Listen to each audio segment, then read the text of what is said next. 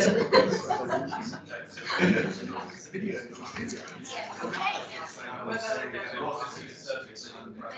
might get started. So welcome everyone. Thank you for joining us. and thank you to everyone online who's joined us as well. We've got two great speakers. Uh, certainly the topics have caught people's imagination is, is what I'm hearing. and our first speaker is Lindsay Bearne from PHRI. So Lindsay, set it up the way you like. Sure. You can just do share if you like. Do that and then, is it, is it sharing? No, it's not actually. So let's go back. Okay, so we need to go back to Teams. So we. So we can scroll down to PowerPoint Live. Something else? Yeah. Great. We need to activate it as well. Down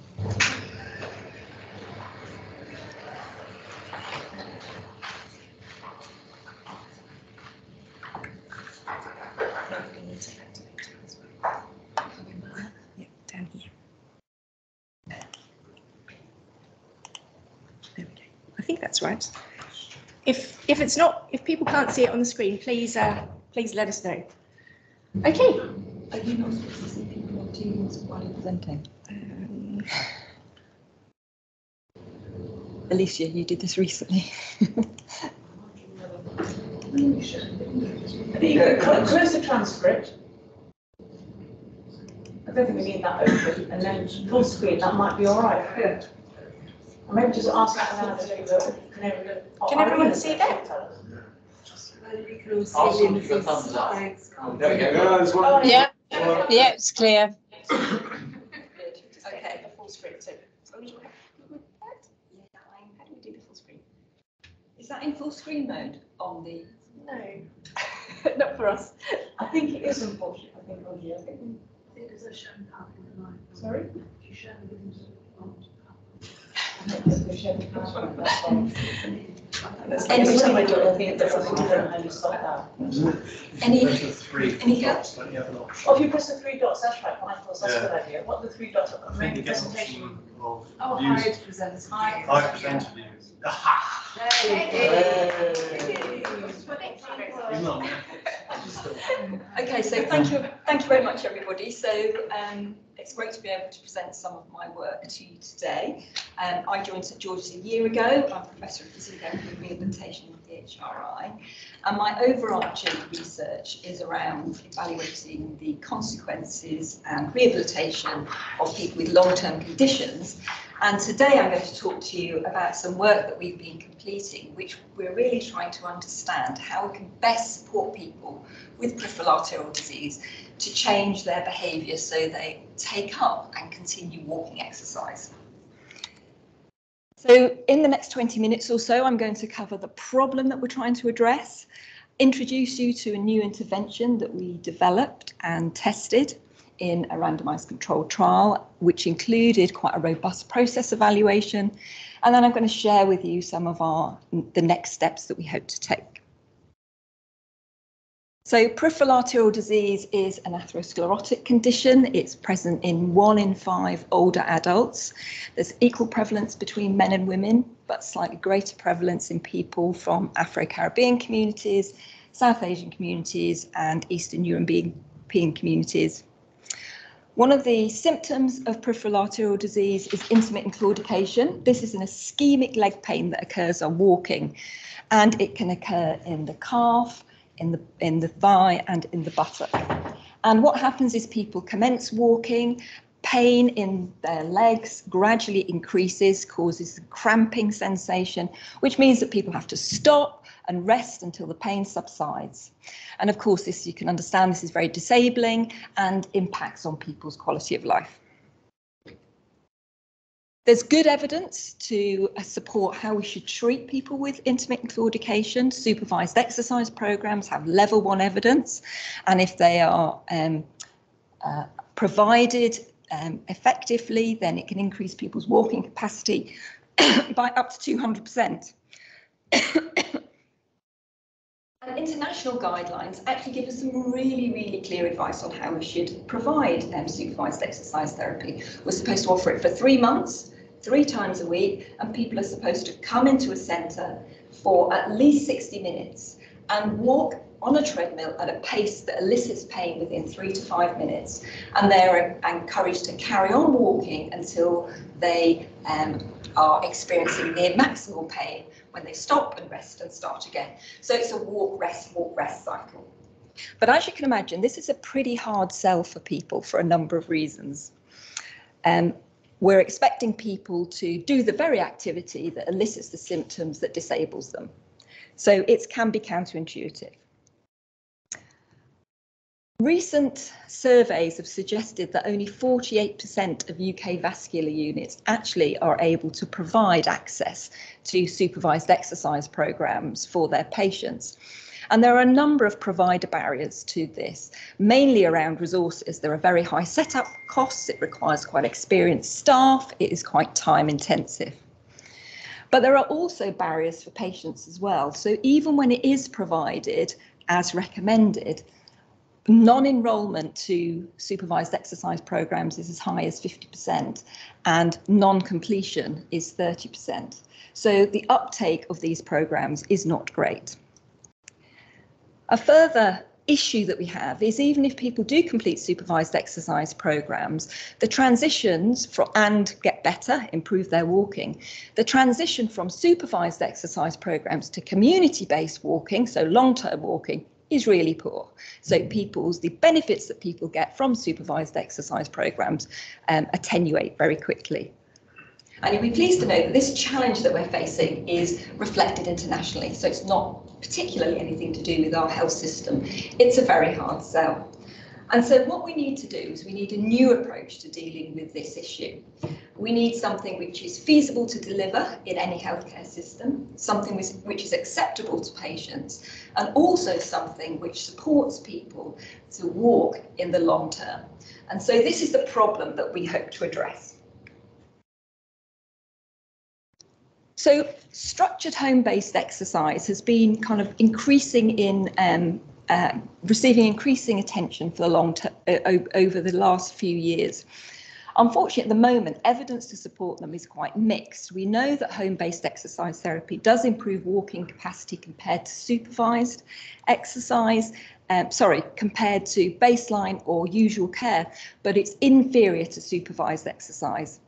And there are a variety of reasons for this. The um, findings are compounded by low quality studies, so small sample sizes. Fidelity is often unmeasured. Sometimes the interventions haven't got any strong theoretical foundation to underpin them. And many of them are delivered by highly qualified psychologists um, or researchers, and so are not really transferable or applicable into practice. So we, um, myself, Melissa Galea Holmes and Professor John Weinman at King's um, decided that we were going to see if we could tackle this problem. And so we um, developed a new intervention to try and improve the um, delivery of home-based exercise for people with peripheral arterial disease. We followed the MRC guidelines for the development of complex interventions and we worked really closely with stakeholders such as clinicians, um, patients and policymakers. And here are just some articles that we published along the way as we developed our new intervention. So our new intervention was called the Mosaic intervention, so motivating structured walking activity and intermittent claudication and it is a one-to-one individualized physiotherapy-led um, intervention. There are, it includes four sessions delivered over 12 weeks. And the first two sessions are delivered in person for 60 minutes duration each. And the second two sessions are delivered via the telephone. And this is important later on. The intervention includes both mandatory and optional behaviour change techniques which target both the motivation to walk as well as the long-term commitment to walking.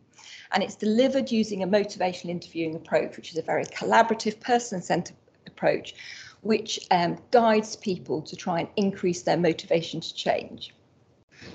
The crucial component of it, alongside the behavioural aspects, is a progressive walking exercise plan, which takes the individual from where they are now up to guideline walking. The intervention is supported by a range of materials, so pedometer, workbook, logbook, etc. And it is underpinned with a couple of um, psychological theories that have been shown to have utility for increasing physical activity in older people and also peripheral degrees, disease. We also spent quite a lot of time designing and delivering a training programme for the physiotherapists who are going to uh, deliver this intervention. They had two days interactive training um, where we taught them what the motivation, what the mosaic intervention components were, the behaviour, how to deliver the behaviour change techniques, which were we knew were important and targeted walking, and we also taught them how to deliver it using a motivational interviewing approach. We also provided them with ongoing support to try and prevent drift from the intervention. So this was both individual one-to-one support and group supervision. And we provided a clinician manual and treatment checklist for all the sessions that they were due to deliver.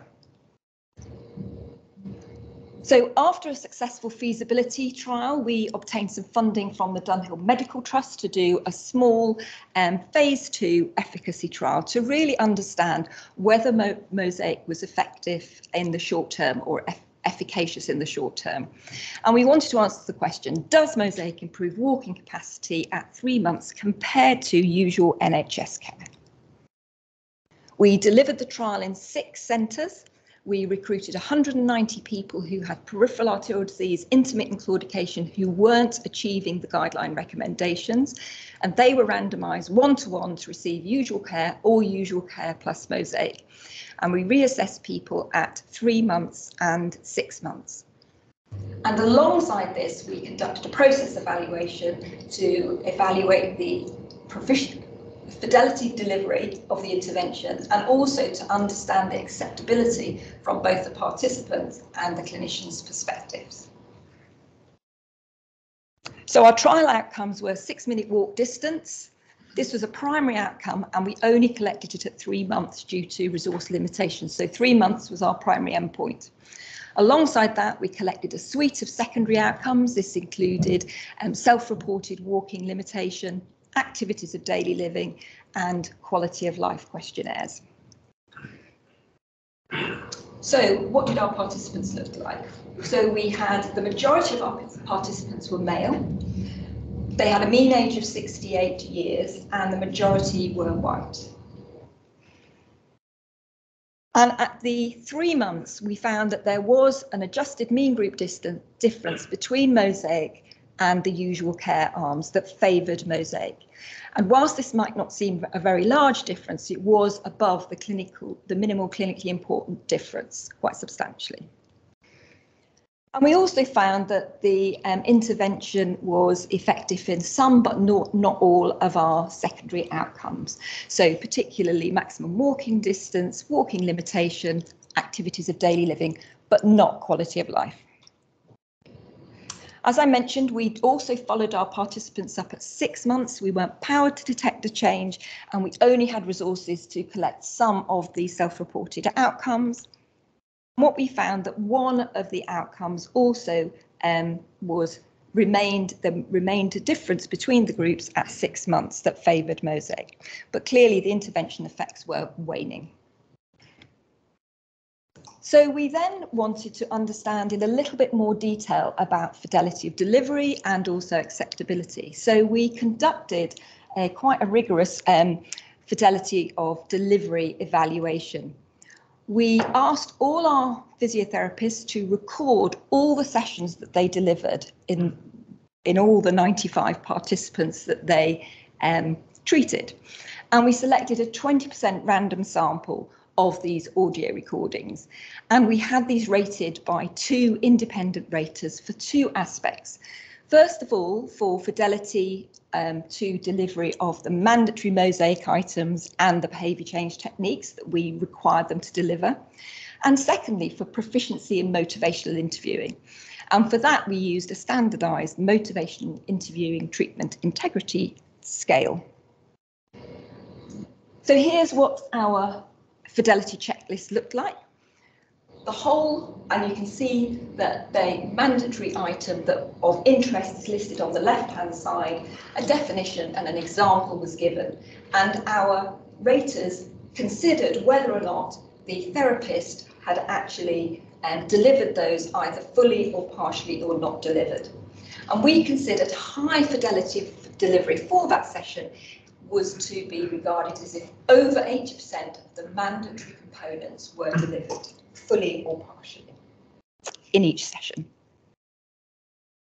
So turning to motivational interviewing proficiency, for this, we randomly selected a 20 minute segment of each of the audio recorded sessions that we were rating. And we looked at those or listened to those sessions and rated the therapist's interpersonal style and their ability to deliver a motivational interviewing approach. And this is kind of called the spirit of MI.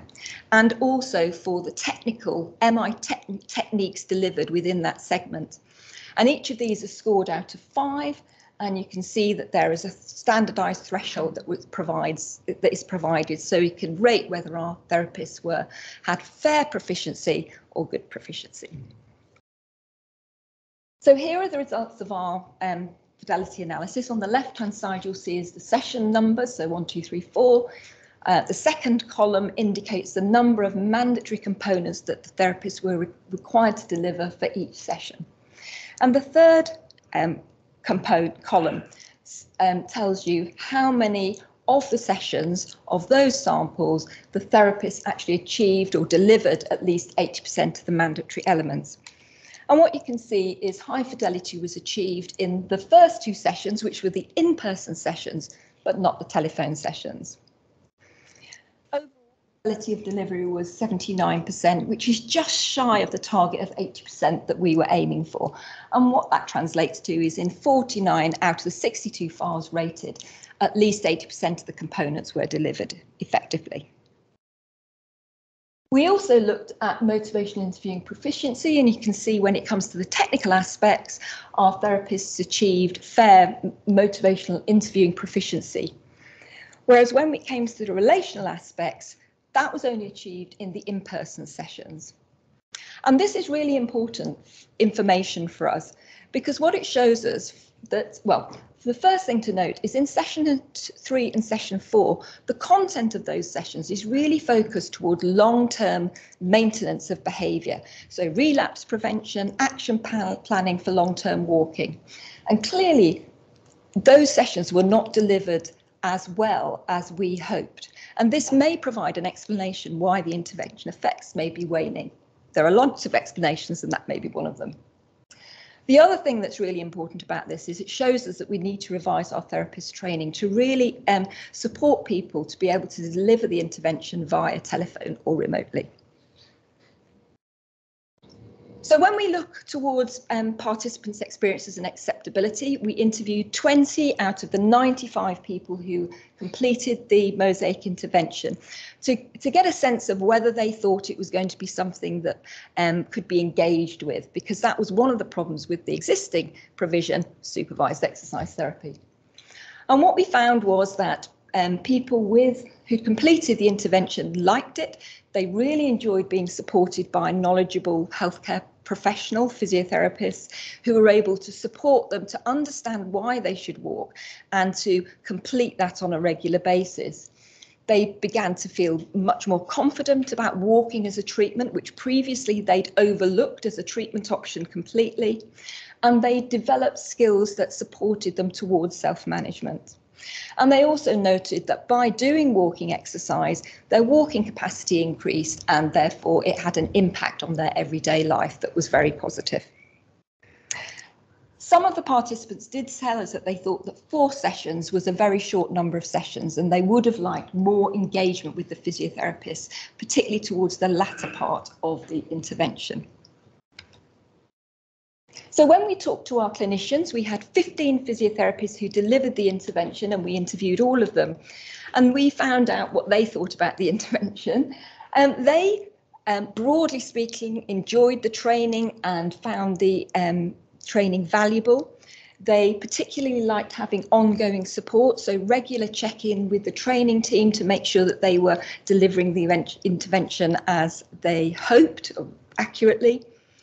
They began translating some of the techniques that they learned into their wider practice, particularly around the motivational interviewing. And they also told us of things that they didn't like about the intervention, of which doing treatment via the telephone seemed to be one of them, which kind of which kind of is uh, uh, aligns with our findings of the fidelity analysis that perhaps this medium is not something that at the time people felt comfortable using for treatment.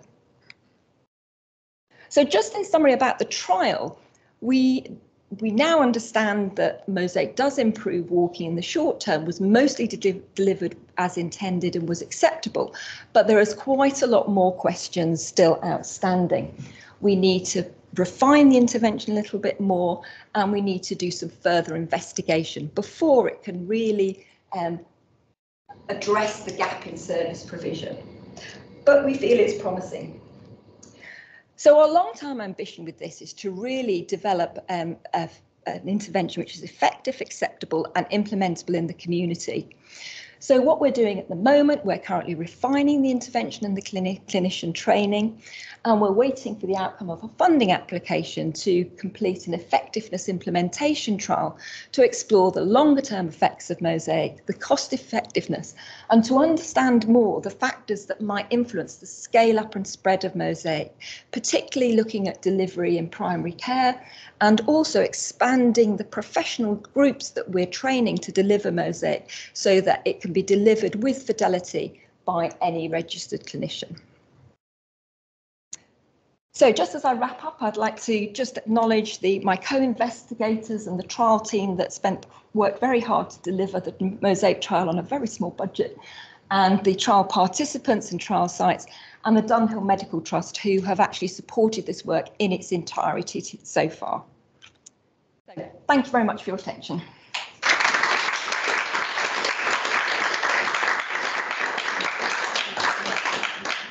Thank you so much, Lindsay. Now the title makes sense.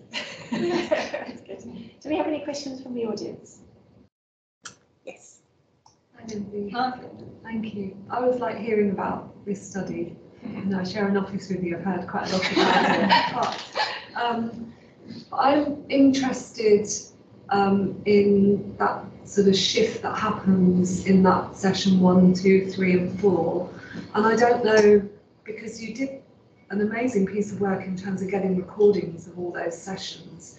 But how much of a sense you've got that the physiotherapists were still working very much in a sort of manager, teacher, expert role, or how much you felt you did get that shift to then the patients at the end feeling, you know, I've got this, I'm okay. Because I just picked up on that feedback that you got that people said they would like more sessions, which in a way we always know that people would like more sessions. But obviously that's not the question that you're answering is how many it's more about the shift. So I don't know if you'll sense there's more work to be done to look at that.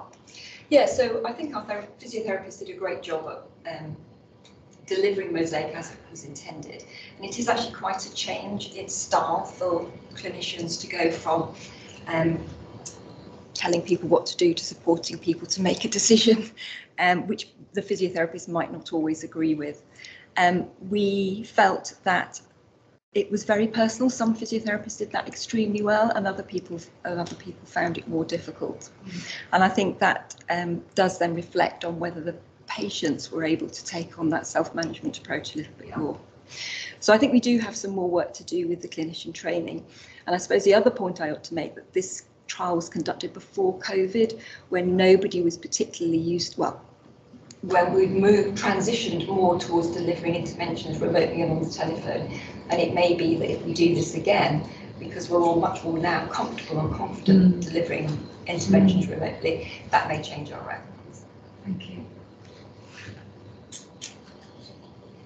Yes.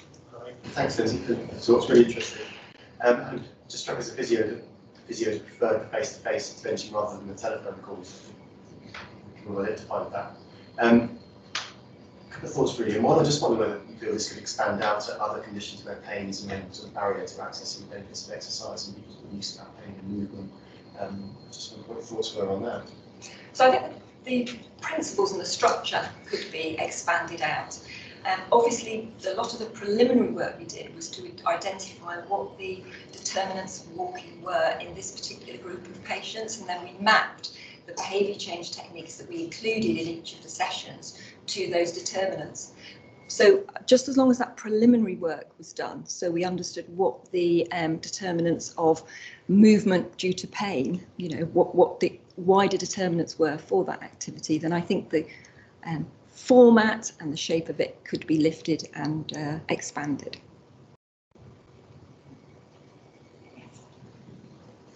Great talk, thank you. Um, apologies if I misunderstood, but when you were talking about the, the type of population that was having these uh, problems with walking, you mentioned um, Afro-Caribbean population, I believe, and other, other sort of uh, groups that were not particular. I, I noticed that in your study, you, you said that were mainly white. Uh, is there any reason uh, for that? And uh, in any case, are you planning to consider those groups that seem to be Yeah, I'm glad you noticed the baseline um, characteristics of our participants. I actually took out another next steps for us, which is around inequity of access to exercise trials and service provision. And we've actually recently done a systematic review to see whether the findings, the baseline characteristics of our trial were similar to others and if there were kind of socioeconomic determinants or, or demographic factors that may influence this. And I think it is a common problem with child trials genuine, uh, generally, and particularly with exercise-based trials in this condition. And although we worked with the stakeholder group throughout the whole um, of this process, I think we're going to need to do more to really engage with communities from uh, that are underserved in this particular population to understand what are the barriers to um, engaging with trials.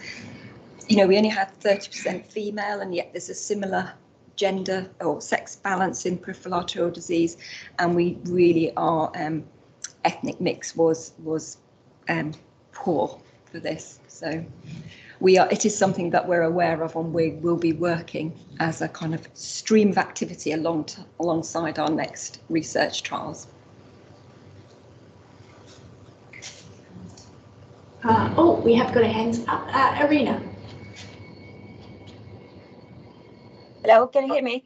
Uh, hi, uh, thank you very much. That, that was fascinating, really. Um, did I understand that right? That that was a uh, multi-center trial, and if that is the case, how many centers did you have? And whether if you learned anything about uh, uh, contamination in the process, because if I understand it right, uh, the, the randomization was at individual level. Thank you. So I, uh, sorry, I, I didn't quite hear all of that, but certainly in answer to the first part, it was six centres in um, southeast London that we conducted the trial.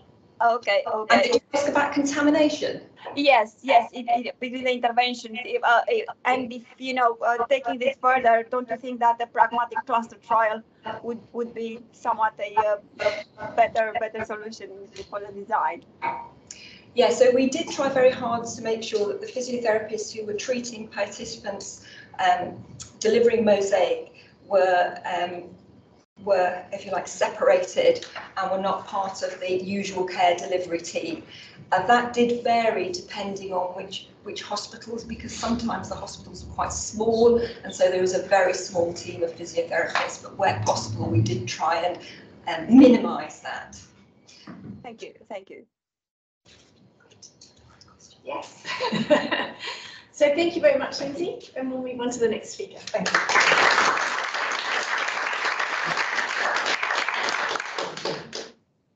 So our next speaker is Glennie Nielsen.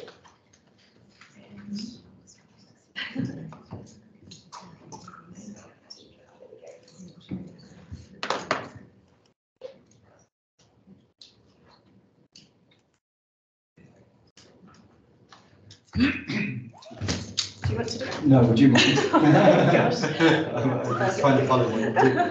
I think I've got my uh, slides already up. or Yes. open. Is it one of these that you're doing? It's, it's, um, ESCAL seminar, specifically labelled. Okay. And then did we do this one down here? Great, thank you so much. Glenn, take it away. Thank you.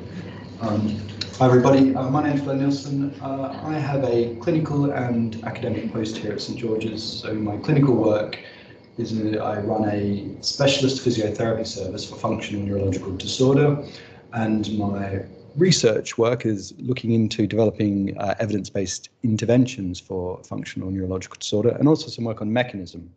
So today I wanted to describe what functional neurological disorder actually is because many people, perhaps most of the general public, haven't heard about it, and then talk about my journey to developing uh, evidence-based re- uh, physiotherapy.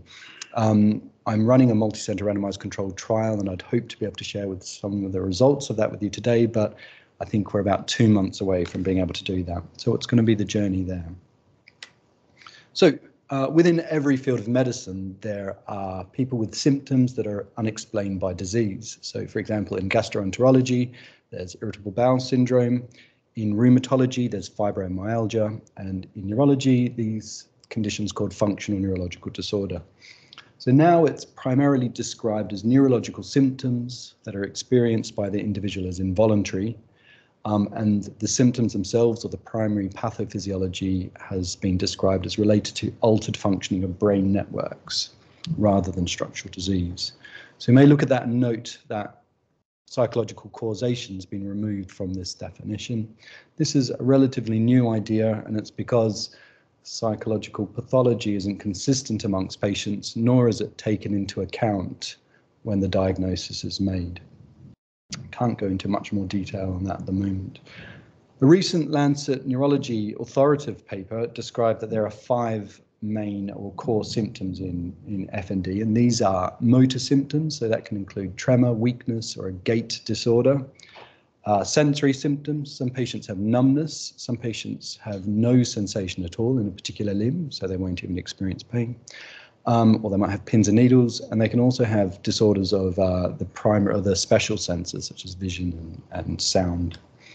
Uh, functional seizures are common. Sometimes these resemble epilepsy, or they might be moments of absences.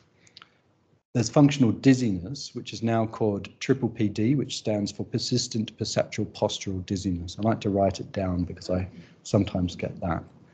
Uh, the wrong way around. And then there are cognitive symptoms, sometimes described as cognitive fog. So you can see it's quite a complex sort of group of conditions, and the terminology itself is quite complex. Uh, for example, it used to be called conversion disorder, and prior to that, these patients were often described as having hysteria. So, as well as these uh, core symptoms, uh, patients, so patients can have one of them, but typically have a combination of them. And they often also have other physical symptoms, such as persistent pain, fatigue. Uh, perhaps about a third of women with functional motor symptoms also have bladder and or bowel symptoms, such as urinary retention, speech and swallowing problems, and headache. And of course, patients can have psychological symptoms such as anxiety, depression. There is some crossover with PTSD, interpersonal difficulties, and dissociation. So in the past, psychological problems have been thought of part of the core uh, symptoms of FND, but there's a move towards thinking about these as risk factors for developing uh, neurological symptoms. Um, functional symptoms in neurology are very common, and perhaps the best data we have on this comes from this uh, study from Scotland, where they got almost every outpatient neurologist, I think all except for one, to rate the extent to which symptoms are explained by disease in consecutive patients. From 3,700 patients over 18 months, they found that the neurologist's perception anyway was that 70% of patients had symptoms that were explained by a neurological disease. 18% had symptoms that were partially explained. So this might be somebody, for example, who has migraine and then some weakness that couldn't be explained by the migraine or any other pathology. Or another example might be somebody with Parkinson's disease with relatively mild symptoms, and they might have some sort of hemiplegic weakness, which you can't correlate with a structural cause. And then there are 12% of patients with functional neurological symptoms in outpatient neurology. So it's pretty common. When they followed up that 30% that had symptoms that were not completely explained by disease, they found that only four of them had acquired a neurological disease that wasn't detected at baseline. So this suggests that it's a stable diagnosis, misdiagnosis is quite rare. So it's a diagnosis made by a neurologist. Used to be considered a diagnosis of exclusion, but now it's based on the clinical examination of the symptoms themselves. So they're looking for rule-in signs that show that the underlying nervous system is functioning normally. And there are specific clinical signs that uh, have been validated with high sensitivity and specificity. So I'll just show you a quick video of somebody of this is Professor Jon Stone, a neurologist, who's doing a Hoover sign on this woman who has right limb, right leg weakness.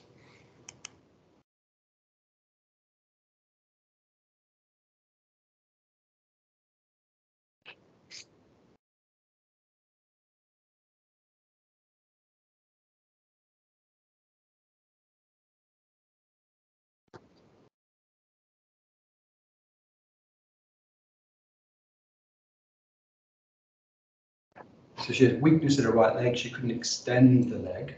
Via a reflex mechanism, really, when she flexed her left leg, the power returned to the right leg.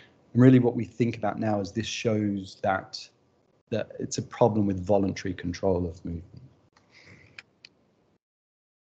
So it's also important for these patients to have reasonable investigations in neurology. One of the main reasons for that is functional symptoms commonly coexist with other neurological disease, and very rarely functional symptoms can exist as part of a prodrome to some other neurological condition.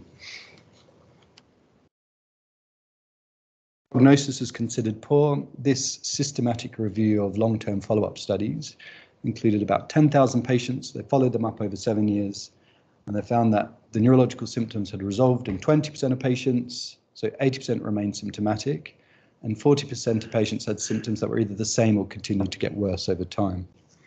And these results were replicated in another more recent study in patients with functional weakness. They followed them up over 14 years. And what I think is particularly interesting is that this group had a higher than expected rate of mortality um, for their age. And I think what they, the most of the causes of death were lifestyle related illnesses, cardiovascular disease, really. So it shows a patient group that become ill, they stop leaving the house, they become very sedentary, and they develop secondary problems. And partly that's because in the healthcare system, do nothing to help these patients mostly. Because what actually happens is that patients with these sorts of neurological symptoms are often referred, and certainly this is what happened in the past, to neurorehabilitation services. And many neuro rehab services or physical rehab services said, well, this is a mental health problem. And so they excluded the patients, they rejected the referrals. And then when we'd refer patients to mental health services, they'd see the patient perhaps in a wheelchair and say, well, you have a physical problem we don't have the capacity to physical rehabilitation. So they've fallen between the gaps and lots of these patients, and there's lots of them, got no treatment at all. So we started uh, looking at this uh, about 10 to 15 years ago now, and one of the first things we did was a survey of physiotherapists. We surveyed all the physiotherapists in the uh, neurology special interest group. Uh, we didn't survey all of them, we got a 60% return rate.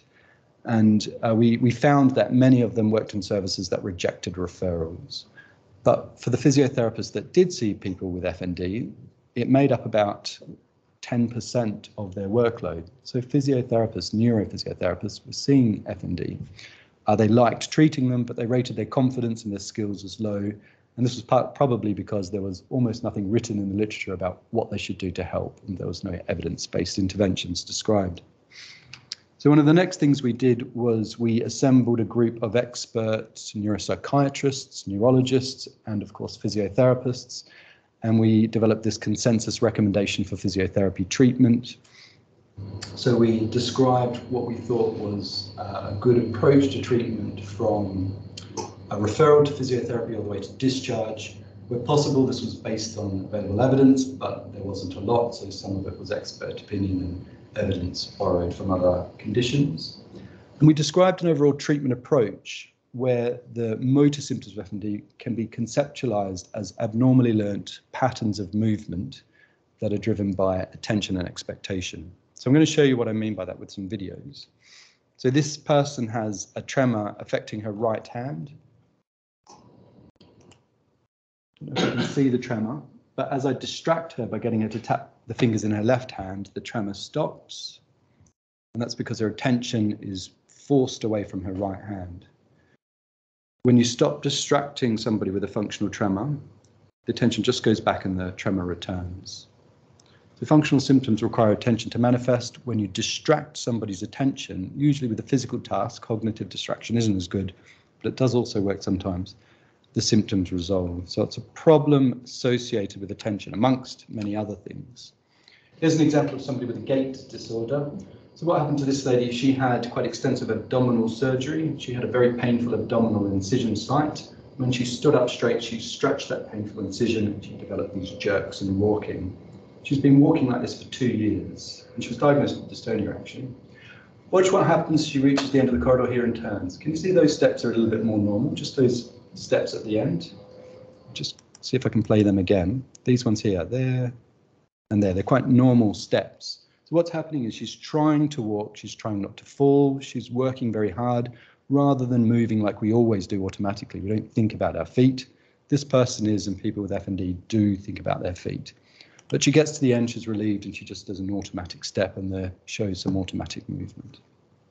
So this sort of impact of attention on movement is a way that physiotherapists and physical rehabilitation can have a way in. Um, just move on to my next.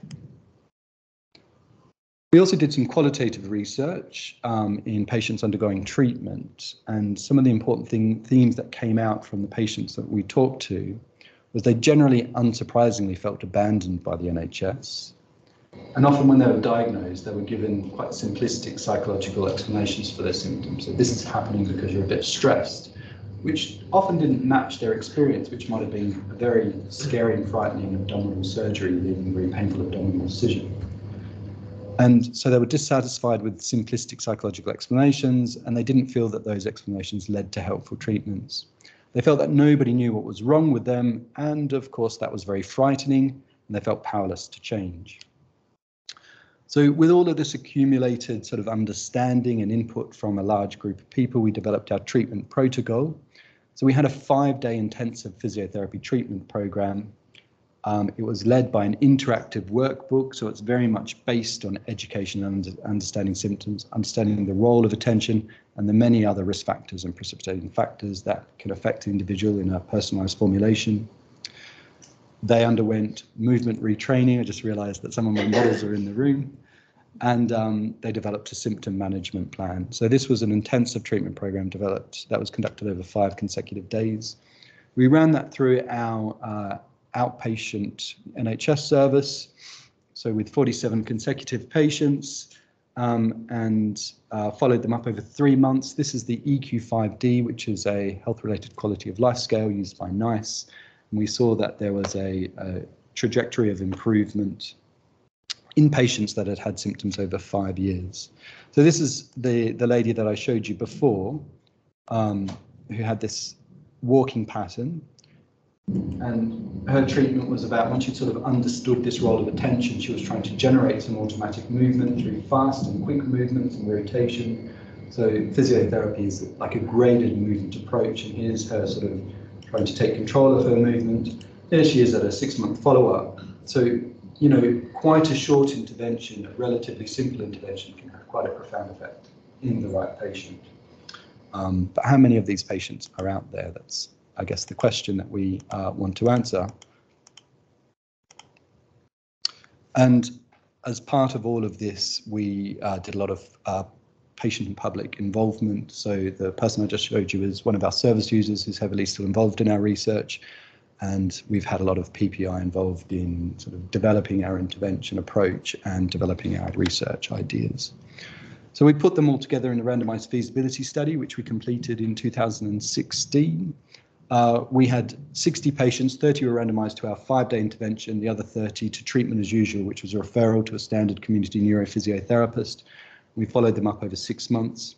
In our intervention group, 70% uh, rated themselves, the patients, as improved compared to 30% of the controls. And we had in the EQ5D some still interesting results that were suggestive that it could be an effective intervention. Um, and also in our, in our feasibility study, of course, we developed all of that information that you need to define a, a fully powered definitive trial. So we got information on effect size, dropout rates, acceptability to feed into our power uh, uh, size calculation. And we won a grant to run the fully powered trial, which we called Physio for FMD. Um, this was a pragmatic, single-blind, multi-center trial, which started in 2018, and uh, it was set up at 11 sites around Scotland and England. Here are the 18 physiotherapists involved in delivering the intervention. Um, and they recently just come back. This is a photo where they've come back just recently after completing the intervention for a bit of a debrief session. So we started recruiting in 2019 and we ran into a spot of bother with COVID. So our sample size was to be 300 and we were about a month or two out from the end of our recruitment period. We had 267. We were a shoe in to reach our sample calculation, uh, but COVID hit and we were forced to stop uh, recruiting uh, uh when lockdown started in March 2020. At that time, we had about 130 in each group but in the intervention group, there were 27 patients or participants who had just been randomized, but hadn't yet started their intervention because uh, they were just waiting for it to start. And so we would have had only 105 minus uh, dropouts in that group. Unfortunately, in the controls, there were 61 still waiting to receive their intervention. So they were more in the control group because their control was a, a pragmatic treatment as usual in the NHS, and they had to wait a few extra months to start their treatment, so there were more still waiting. So what we would have ended up with is either a diluted effect size or a very underpowered trial. Um, and we were lucky enough to receive a costed extension from the NIHR. And so with this extension, we recruited an extra 89 participants. Uh, so in total, we have a 355 and um, we've followed them all up over 12 months and we have a very high retention rate of 90% thanks to Anne-Marie who really chased everybody down. Um, and so these patients are now being analysed. Um, but we had a decision to make about what we were going to do with those patients who didn't receive because, their treatment because of COVID. And we really need to think about this and describe it obviously before our analysis. We need to think about it in terms of the intention to treat principle, a really core principle for randomized controlled trials. So we took a lot of advice, and what we decided to do was look at the patients in uh, all together. But in, there were three groups essentially. Uh, we had only 25 that had been treated and followed up before COVID hit. 134 who were treated, but then they did their six and 12 month follow up during lockdown. So this may have influenced how they answered questions about things like mental health and physical disability if they weren't leaving the house. We had lots of questions about gait. There were 89% who received no treatment because of COVID, sorry, 89 patients. And then there were 88, I think that should be 89, in the uh, post-COVID recruit extension. And so what we've decided to do was exclude the COVID people from our primary analysis and just include the people who received treatment. And we'll do a big sensitivity analysis, which will include all patients to see the effect of excluding those people from our primary analysis.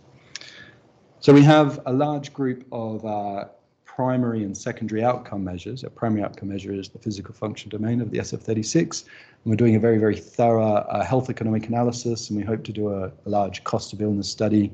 And the data from this is surprising how expensive this patient group in terms of how many of them are attending A&E and hospital for things related to FND, but also things related to comorbid health problems. Uh, we've got other research going on, but just to finish off, to acknowledge the really large number of people who contributed to the work that I've presented today. So thank you very much. I'm happy to answer some questions.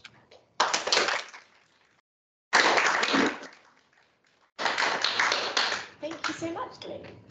Do we have any questions from the audience or online? Franklin. Nice, nice, nice. Very nice to deal with the COVID issues. So you were quite cautious when you were saying it's considered to be a problem with networks or tensions if it's not 100% clear what FND really is. I mean, does any of this help confirm or perhaps cast doubt on any of your ideas about mechanisms? No, it doesn't. Uh, help, but um, I'd like to just leave the answer there. But um, no, so this is obviously a rehabilitation study. So this is a long debate about why it's described as a, a, disorder, a network disorder. So,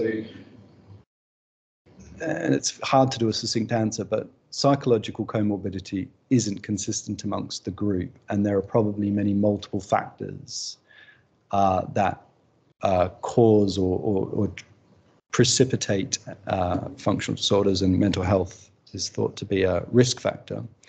The idea that it's a network problem comes from a really quite large and growing group of research that looks at networks about why somebody might develop a tremor as opposed to weakness, as opposed to not being able to feel their leg, as opposed to jerks or fixed dystonia or seizures. And so these sorts of network sort of this idea of it being a network disorder comes from studies that look at, uh, I guess, fMRI studies that show abnormal connections between, say, the amygdala and brain areas associated with threat with brain areas associated with movement and primary motor cortex. This is really not my area of expertise, but um, it's really the idea that it's a brain problem, and to describe it as either a physical problem or a mental health problem is a dualistic way of thinking about it, which we kind of got stuck into for about a you know a couple of hundred years, and it led to nowhere. And the idea of just sort of opening out, broadening out the definition to a true biopsychosocial definition has led to things like physiotherapy and more targeted psychotherapy not a great answer to your question, but the best I can do at short notice. Maybe I'll ask one. Please. So um, at the beginning, uh, sort of early on in your talk, you sort of mentioned that that lots of patients fell through the gaps and maybe about 20% of them actually improved with very Mm. little intervention perhaps. Mm. In a best case scenario, what do you think your interventions are going to, to, to do? What sort of improvement or proportion of the patient group might improve using your intervention? So it's it's a really great question, but a tricky one because how you describe improvement in a patient with complex problems and multi-comorbidity is difficult. So, for example, the typical patient might have had 10 years of chronic pain, which doesn't go away, and they might also have something like diabetes and other chronic health problems, and then often develop functional neurological symptoms. So they might have a gait disorder, like the person I showed you. The gait disorder might improve, and they might be left with chronic pain and maybe chronic fatigue. So when we ask them about their primary symptom, I would like to think that around 60% of patients show improvement uh, with a with this type of treatment, and maybe 40% don't. What I didn't talk about was how we select patients. So we select about 35% of patients for this type of physiotherapy treatment. The other two thirds have complex, uh, more uh, multidisciplinary treatment, uh, which involves psychological therapy, or they might have another treatment such as specialist chronic pain rehabilitation. So I think, and I'm hopeful, around 60% of patients will improve uh, of that 30% that we, we treat in physiotherapy. Okay. Thank you. Yes. Hi, Helen, thanks for a great talk. Um, I'm just wondering if at the end, when you looked at your controls of the study population and how to those with ND, whether there was a difference in the delay from recruitment to delivery of um, physiotherapy, um, and whether you looked at whether that had impacted on outcomes, if there's been another delay in, in control groups. Yeah, that's something we're going to look at. So there's a number of ways that could go. What I'm worried about is that with these types of conditions, there's often um, a peak treatment effect and then a loss of treatment effect over time. And if the control group is delayed, they might complete their primary outcome closer to the peak treatment effect. And if the interventions were treated a little bit earlier, they might be lower on that treatment. And I think in the end, there are so many other factors that contribute to that. I don't think you can sort of pull it apart so specifically. It's, it's just a lot of noise. Um, so, so we're going to look at that and see what we can make of that, but it's a bit too early at the moment. Sorry, I'm just edging off what session I talk. Yep, we're just about to wrap up. Any more questions? Nothing online. So thank you so much, Glenn. Before everyone disappears.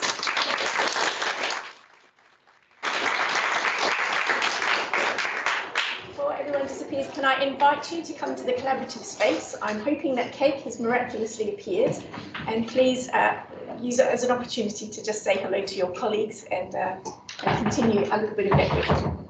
Thanks and join us next time.